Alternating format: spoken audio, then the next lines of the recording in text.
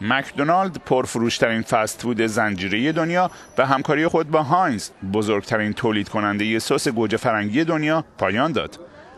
بدین ترتیب بعد از چهل سال 34 هزار شعبه مکدونالد در سراسر دنیا استفاده از سس گوجه فرنگی هاینز را متوقف خواهند کرد.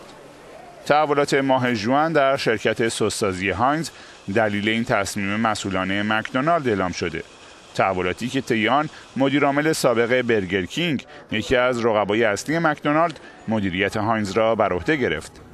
مکدونالد در صدد است سس گوجه فرنگی مورد نیاز خود را از منابع دیگری تامین کند.